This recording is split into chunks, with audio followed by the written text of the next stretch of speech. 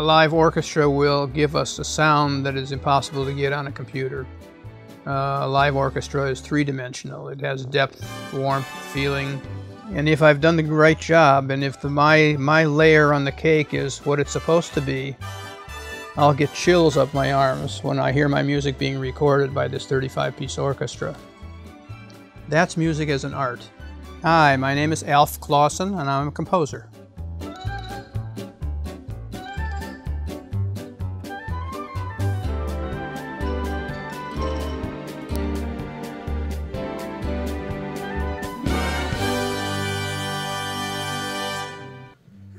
Yeah, Dell, we need one more. We had uh, too much cowbell in the beginning and not enough in the end. Cowbell is very important here, you know. in pursuing my dream of um, arranging, composing, conducting, etc., I also had to do something to support the family, and playing uh, as a playing musician was a good solution to that. So I worked a lot as a playing bass player, playing French horn player. It's the kind of experience that one can't learn at school. The Simpsons uh, job fell into my lap totally unexpectedly. I had just finished the Moonlighting series on the ALF series for four years, and they were both ended, and I was out of work for seven months. So I called a friend of mine, um, and I said, well, if you hear of anything going on, please let me know. So he called me a couple of weeks later and he said, I was just having dinner with my nephew last night and he told me that he was a producer on a television show and they were looking to change composers. He said, Well, have you ever done an animated show before? I said, No. He said, Do you want to do an animated show? I said, No. I was basically looking upon myself as being a drama composer, and that's what I do wanted to do with my life. He says, Why don't you come in for the interview and we'll talk about it, and I'll have you meet Matt Groening and the producers, etc. I said, Okay, so I'll take the meeting. And Matt welcomed me and shook my hand, and he said, um, would you be interested in doing uh, being a composer on an animated series? And I said no. I gave him the same uh, song and dance about my plans, and he said, well, we don't look upon our show as being a cartoon, but we look upon it as being a drama where the characters are drawn, and we'd like to have it scored that way. Could you do that?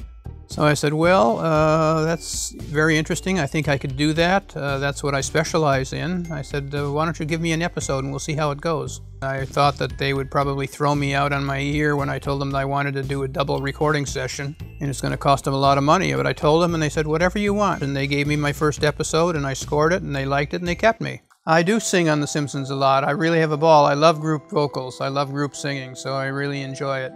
The day of recording is much fun for me. That's when everything comes together. Uh, I usually have a 35-piece orchestra. Matt Groening, the creator of the show, is basically the one who has requested the orchestral sound for the show. And he feels that acoustic music smooths out the animation.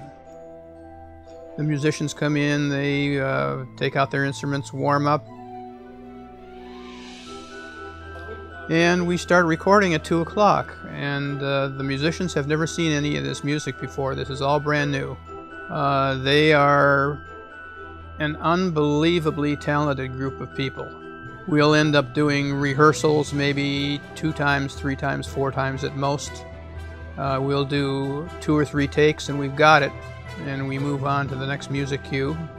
So we just do them one at a time one at a time. Knock them off knock them off we get to 5 o'clock and we've recorded all of the music for that session. Uh, it's just a phenomenal process. It's so much fun for me to um, hear my music come alive and to listen to the senses of humor that uh, not only the musicians have, but my team has in the booth. We, we're here to have a good time in addition to making some really good music, so we enjoy being together and doing that.